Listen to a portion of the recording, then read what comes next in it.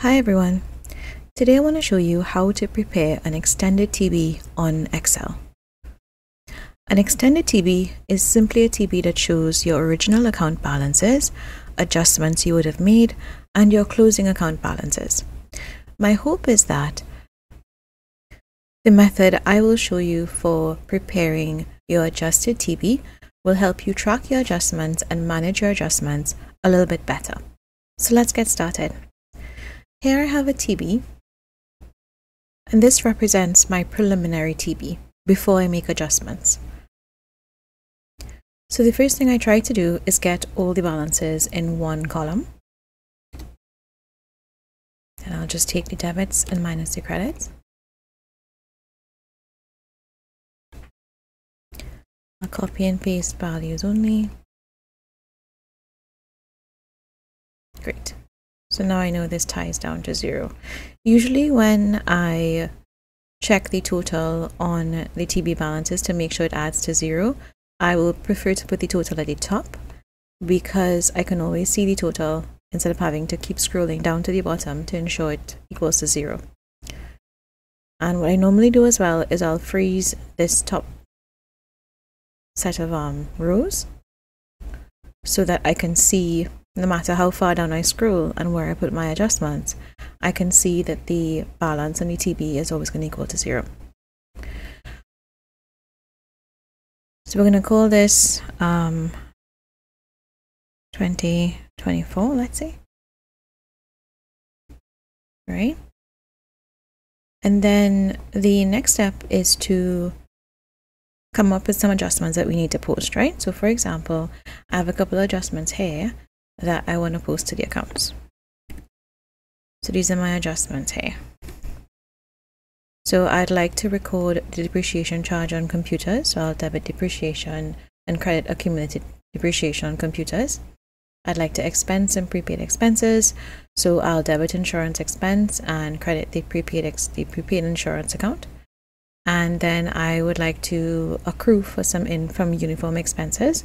So I'll debit uniform expenses and credit accounts payable. So this is the account number, the account description, and the debits and credits. Debits are in positive numbers and credits are negative numbers, mainly because I want to show them in one line so I can sum them up easily. So what I'll do is I'll create a tab for adjustments. So I'll insert a sheet and you'll just call that adjustments. And then I'll move my adjustments that I want to make. I'll document them on this sheet. So this would be the account number the account description and the debit balance and the credit balance of the adjustment. Again I like to put a total at the top. So as I add adjustments going down I'll always make sure that the adjustments total to zero. And I would freeze bin as well.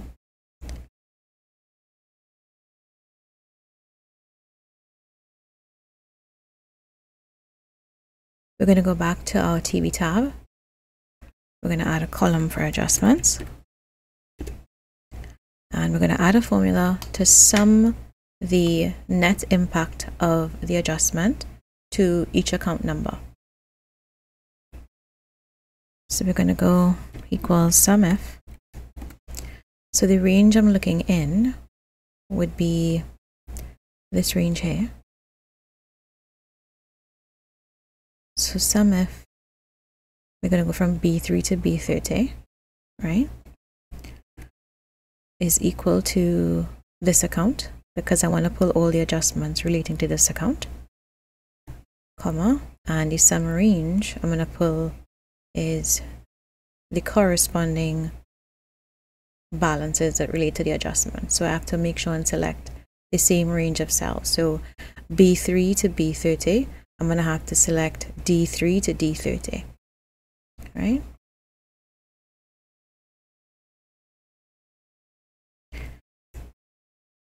And that's it.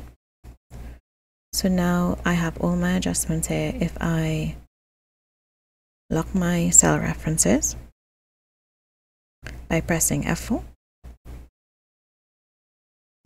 and I just double click down, these are all my adjustments here. So I'm just going to copy across this total to make sure all my adjustments die to zero and it does. All I need to do now is add a column for the final figure. So I'll just put 2024 final here. And I'll just sum across the original balance plus the total of all the adjustments from the other tab. And I'll drag across this formula, which sums all the way down to make sure that my TB is still balancing. And that's basically it. Um, you are able to see your original figures, your adjustments in one column, and your final figure. And you have a whole entire tab here where you can document as, in as much detail as you wish the adjustments that need to be posted. As you continue adding just adding adjustments to the bottom of this list, the TB will automatically update. I'll show you an example of that now. Um, if, for example, I wanted to record uh, depreciation, sorry, bank charges in my bank account when I was doing my bank rec. So what I will do is I would come and pull the account and the description from the TB for the relevant bank and the relevant bank charges account. And I'll copy. So just hold on control, select both sets of information and copy it and paste it across in the adjustment tab. And then I'll say uh, to record bank charges. Right, let's call that full. And matter of habit, debits come above credit, so I'll just switch that around. And let's say the bank charges were $50.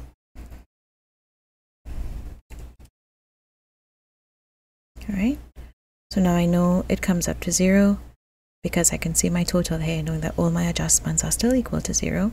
And when I come across on this side, you'll see it's automatically updated here as well. The $50 comes here, and if you look at the bank charge, at the bank account, the $50 comes out as well. So it'll automatically update as you post adjustments to the bottom of your of your list of adjustments. Something to note is that these adjustments will only pull from row 3 to row 30 on your adjustment tab. So if your adjustments go beyond row 30, you'll need to come to your TB and adjust this formula to extend this beyond row 30. I normally get around this by selecting the entire column instead. So instead of selecting a set of rows, I would put sum if and my range is going to be the entire of column B.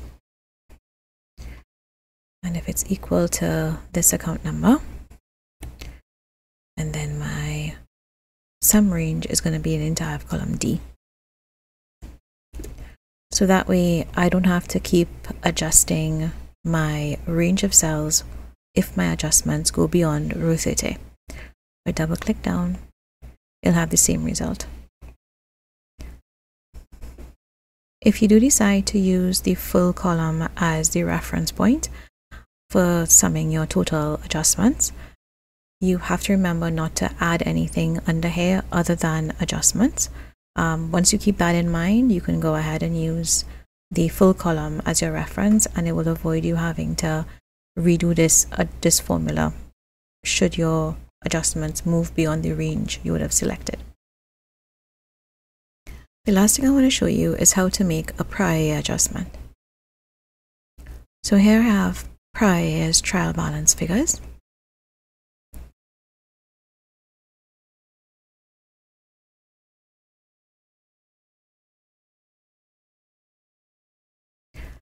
If you're having issues lining up your current year and prior year balances to the respective account, I would share a link at the bottom in the description where you can see how to use XLOOKUP to match your prior year's balances to your current year's balances. For this video, I've previously lined them up and matched them up. So we're going to call this 2023 final. And we're going to go adjustments. And then we're going to say 2023 restated. to kind of differentiate between the adjustments column, I'll just put 2024 adjustments here. And I'll put 2023 adjustments here.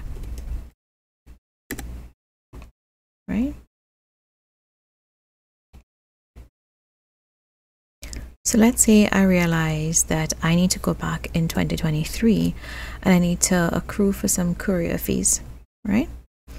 So I'm going to go to accrued expenses, copy that description, and I'm going to go to courier expenses and copy that description.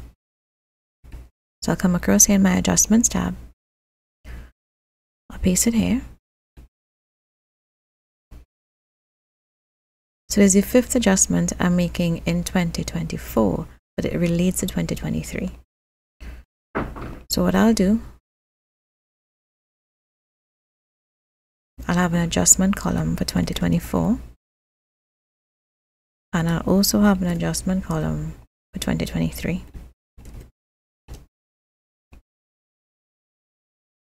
So for example, if I had to accrue $500 of courier expenses, I would come into my 2023 adjustments and I'd debit 500 and credit 500. Just like I did in 2024, I'd pull the total just to make sure that it's adding up to zero.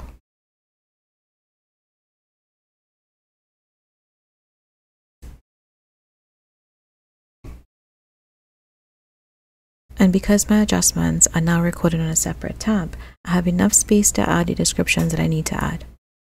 So I'm going to come here to accrue.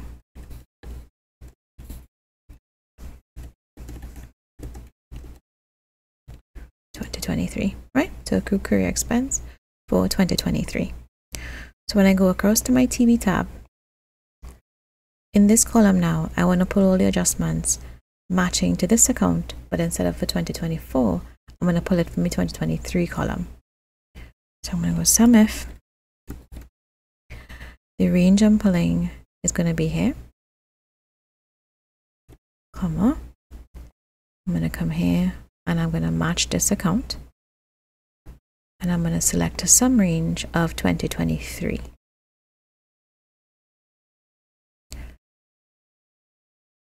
So you're going to see the 500 coming up in accrued expenses and the 500 coming up to increase courier expenses. So again, I'm just going to sum across and I'm going to take the totals at the top and make sure it's still adding up to zero, right? So whenever you're making prior adjustments, the balance sheet side of your adjustment, you're going to have to roll into 2024. And the P&L side of your adjustment, you're going to have to roll into retained earnings of 2024. So if you don't have a prior period adjustment, this formula would work for your 2024 figure. If you do have a prior period adjustment, you have to come into here and add this balance here because this is your adjustment to your balance sheet item in the prior year. So it will impact this year as well. And do this all the way down for all your balance sheet accounts. Right.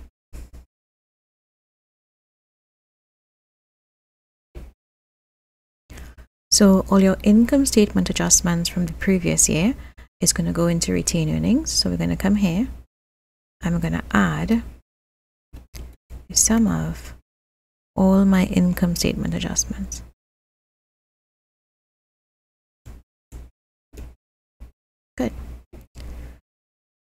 So now if I were to post an adjustment to 2023, it'll automatically be updated. So let's say, for example, adjustment 3 related to 2023. I just drag it across here. And I'll just change this to 2023. So once it's across on this side, it'll pick up as a 2023 adjustment. So if I go to my TB, you'd see it here. And it'll automatically update the subsequent year.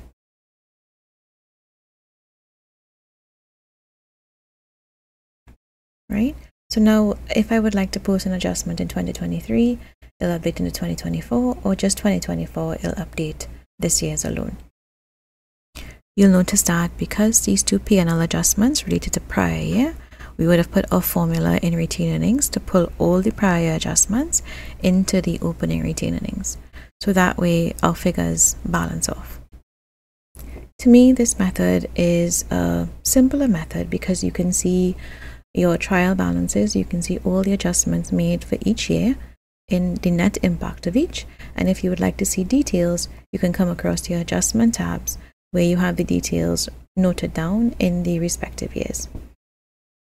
There's one final thing I'd like to show you simply because it's coming up in this video is how to change your negative numbers into displaying them in brackets.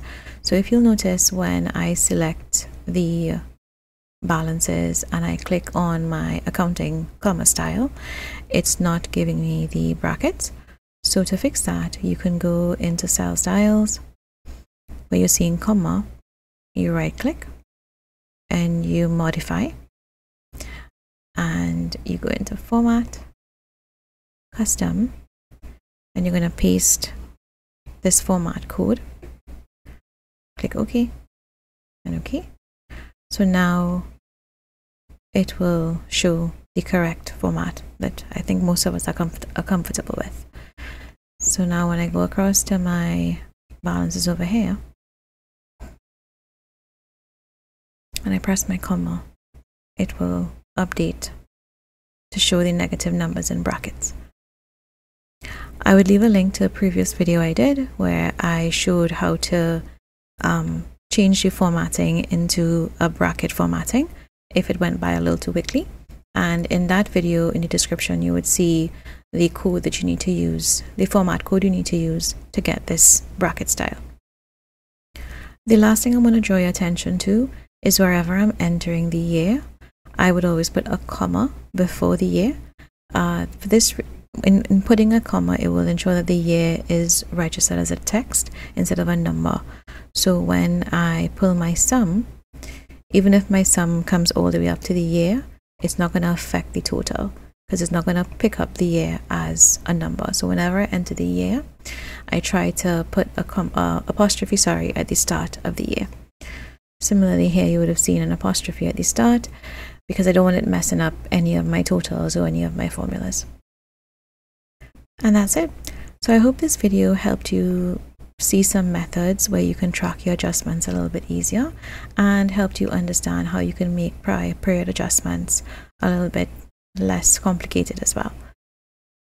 Thank you for watching and I hope to see you again in my next video. Bye.